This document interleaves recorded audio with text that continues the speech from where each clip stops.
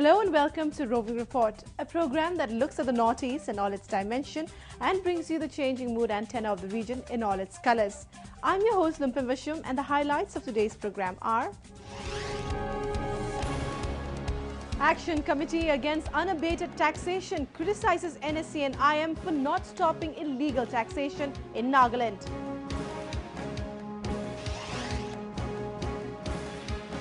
Manipur entrepreneurs tap potential of agro industries. India and Bangladesh work together towards boosting border trade.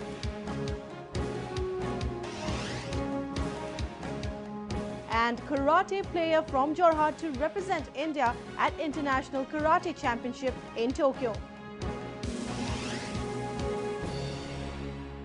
People in Nagaland have been facing many hardships due to multiple taxes imposed by various underground outfits. Recently, the NSCN IM issued a declaration stating that it would cease dialogue with the Action Committee against unabated taxation, an organization working to resolve the issue of illegal taxation in Nagaland. We have report. Frustrated by the practice of illegal tax collection by various Naga outfits, including the National Socialist Council of Nagaland, Isak Muivah, NSC and IM, the people of Nagaland have expressed their anger through protests on various occasions. They have been demanding an end to illegal taxation as the militant outfits run a parallel government in the state. The Action Committee Against Unabated Taxation was formed in 2013 under the aegis of the Naga Council to take up the issue of multiple taxation, price rise, and other such problems concerning the people. It has been reaching out to the various underground groups for a peaceful resolution of the taxation issue. However, recently the NSCN IM issued a declaration stating that it would cease to engage in dialogue with the ACAUT.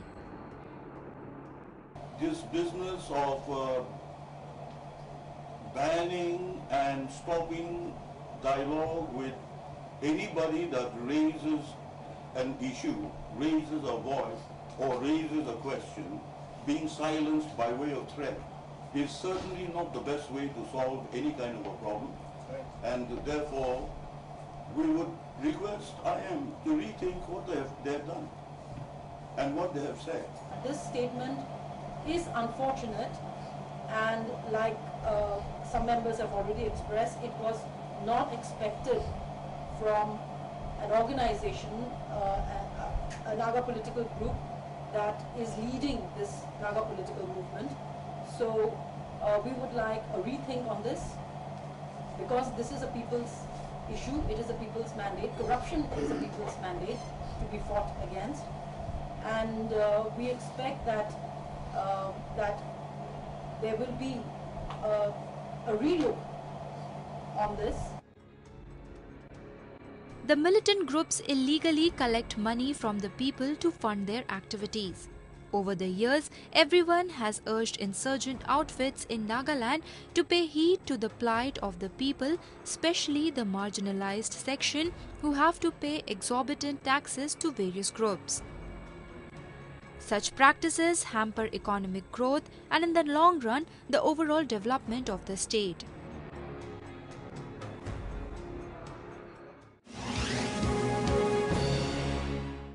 Moving on, the northeastern states have been witnessing a rapid growth in rural and urban areas, especially with the implementation of several government-run schemes. Let's focus on the changing scenario in the region with our segment Ripples.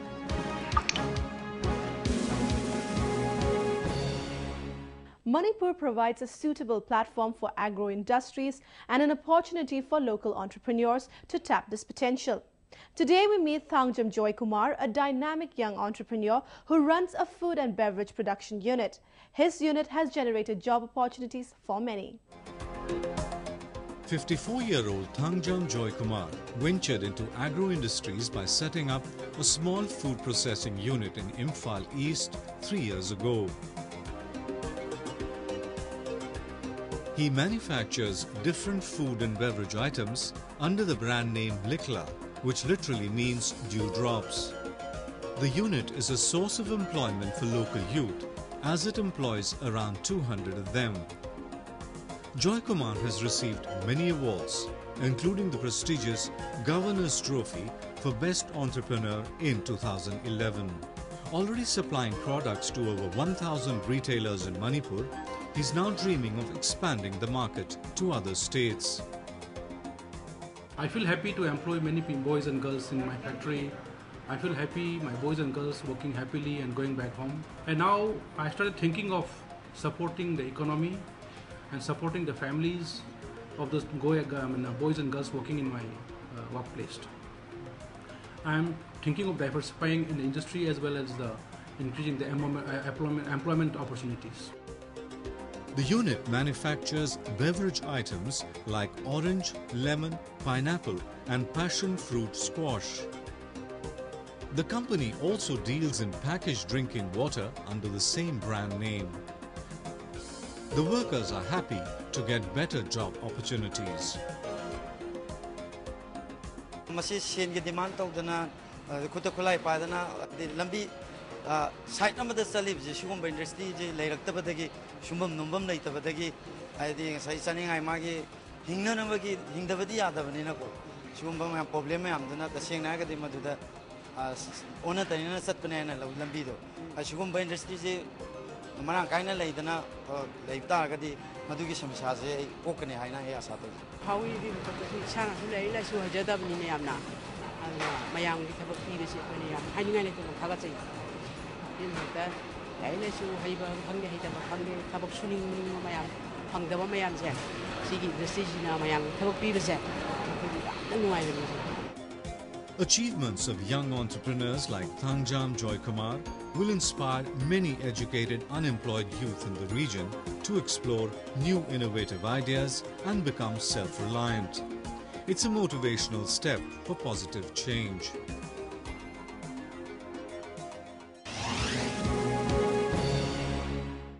Now take a look at some of the events that made news in the Northeast recently. Two members of parliament from the northeast have been included in the new union cabinet. BJP MP from Arunachal Pradesh Kiren Rijiju recently took charge as the Minister of State MOS for Home Affairs. Sarbanand Sonowal from Assam has been appointed as the Minister of State for Skill Development, Entrepreneurship and Youth Affairs and Sports Independent Charge. After taking charge, Sonowal assured to work for the development of sports in Northeast. हमारी यहाँ जो सुविधा होना चाहिए हर खिलाड़ी को अभ्यास के लिए ट्रेनिंग के लिए वो सुविधा नहीं है उत्तर पूर्व राज्यों में तो देश की बाकी हिस्टों में जैसे सुविधा दिया गया है उसी सुविधा यहाँ भी लागू किया जाएगा Meanwhile, the DoNER ministry will be headed by retired General V.K. Singh. Three hardcore militants of the National Liberation Front of Tripura recently laid down their arms before the Border Security Force in the bordering Sidai area in western Tripura. Meanwhile, in a separate incident, Assam Rifles troopers apprehended 10 militants, including the top leadership of the Bru National Army from the Tripura Assam bordering areas. We are pursuing to get the uh, cadres of NLFT to surrender before the government as the state government as well as central government has placed various policy providing them financial packages. Uh, that will be an incentive to motivate them to surrender. And during this pursuit, we have been able to surrender large number of militants for last three years. A large number of students from the Northeast recently took out a protest rally to condemn the molestation of a Naga woman by a lawyer in the capital. The lawyers had also allegedly assaulted youth from the region in the Tees Hazari court complex. The protesters demanded that the licenses of the accused lawyers be revoked. The police has said that a case has been registered and investigation is on. Two suspected Naga militants of Zeliangrong United Front outfit were killed in an encounter with the security forces in Tamenglong district of Manipur. An Assam Rifles personnel was also killed during the fight. Police recovered two AK series rifles and two hand grenades from the duo.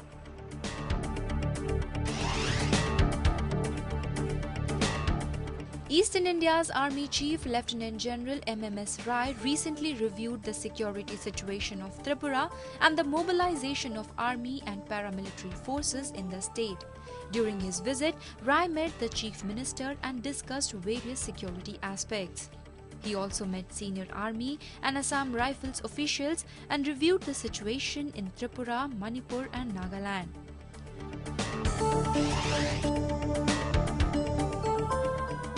In order to make the students aware of the various career options, a two day long education fair was recently organized at the Children Park in Agartala.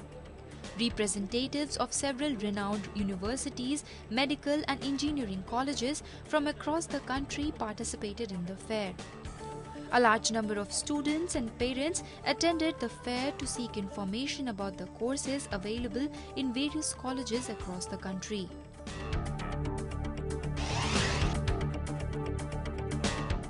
All Bodoland Minority Students Union of Assam recently took out a rally at Raj Bhavan demanding justice for the recent killing in the Bodoland by unidentified miscreants. Around 40 migrant Muslims were killed last month in a brutal attack by Bodo militants in Kokrajhar and Baksa district. The students' body submitted a memorandum making several demands, including the arrest of the culprits and the seizure of illegal arms.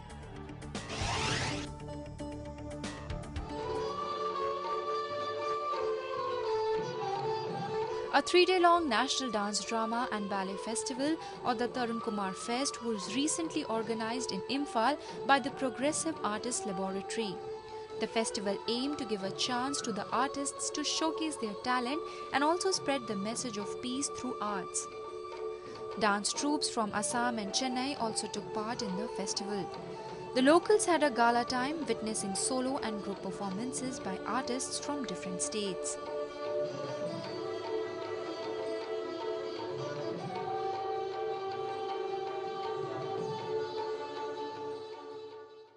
India and Bangladesh have been consistently working towards strengthening their trade relations and to develop people to people contacts. Recently, officials of both countries laid the foundation stone for border haats along the Bangladesh Tripura border. We have a report. India's northeast region shares 1,880 kilometer long border with Bangladesh and has potential for developing cross-border trade. In an effort to uplift the socio-economic status of the people living on both sides of the border, both countries have been working constantly to develop border haats or markets. Recently, members of Indo-Bangladesh Border Haat Management Committee laid the foundation stone for the proposed border haats at Kasba in Tripura. This will be the second of the proposed four border haats along the Bangladesh-Tripura border to be built by the Ministry of Commerce at an approximate cost of rupees 2.5 crores. Once this uh, construction is over, the trade will started and uh, uh, some uh, some uh, items which have been already selected and identified.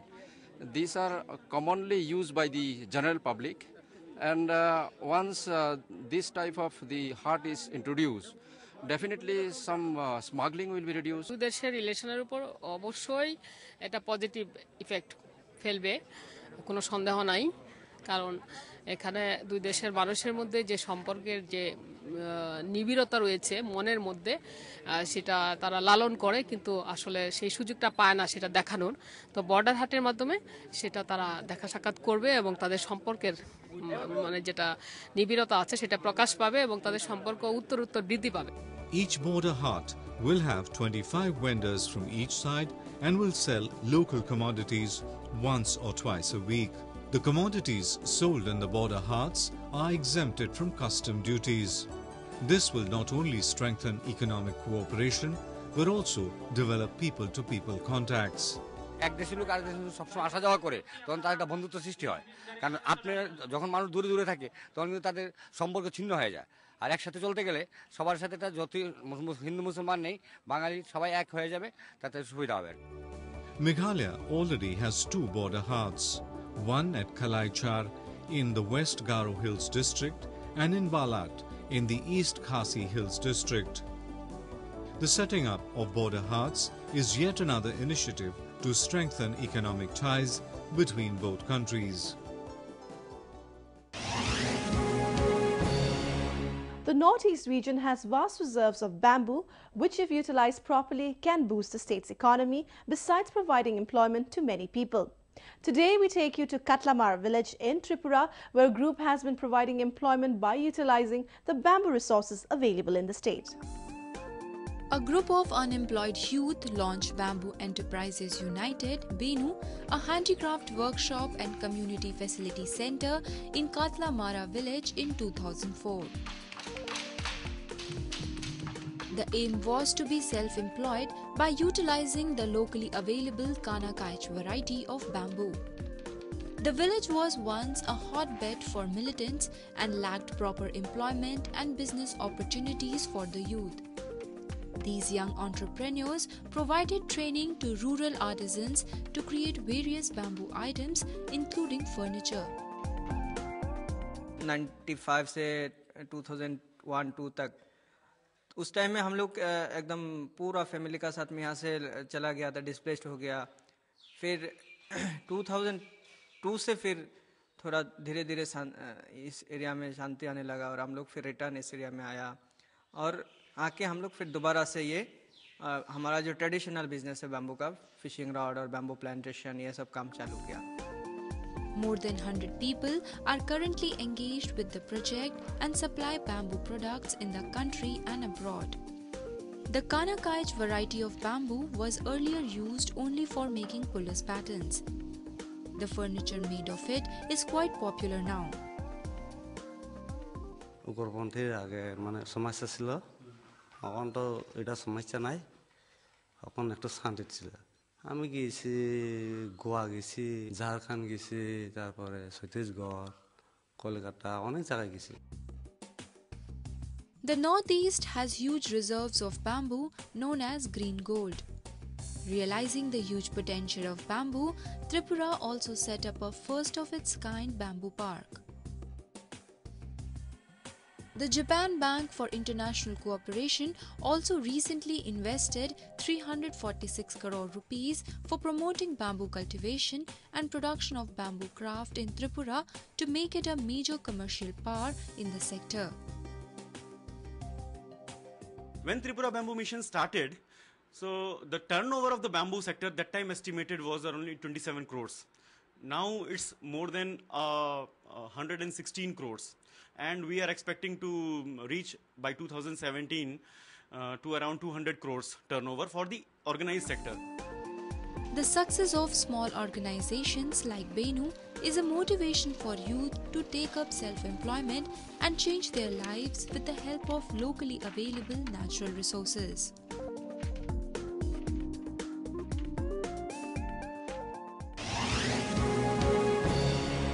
There is no dearth of talented sportsmen in India's northeast. We now meet Ramanuj Bora, a young karate player from Jorhat who will be representing India at an international karate championship in Tokyo.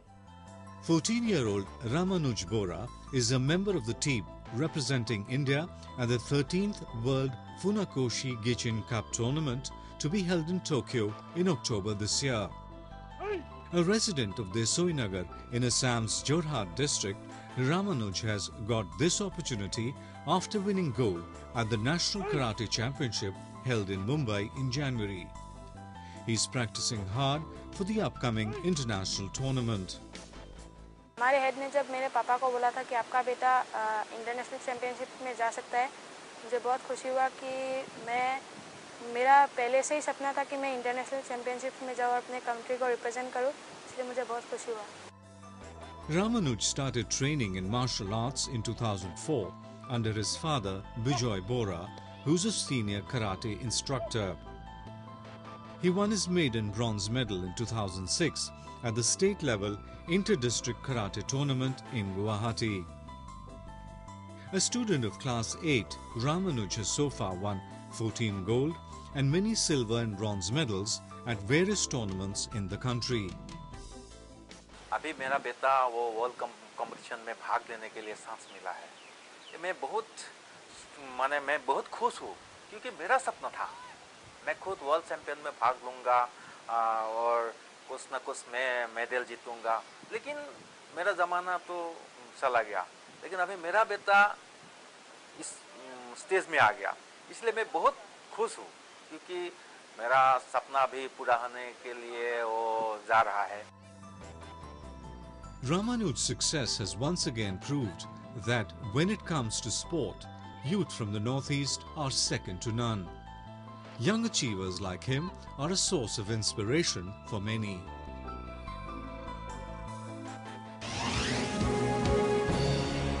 With that, we've come to the end of this episode of Roving Report. I'm your host Limpim, signing off. Do send in your feedback and suggestions to roving at anin.com. Goodbye and see you next week.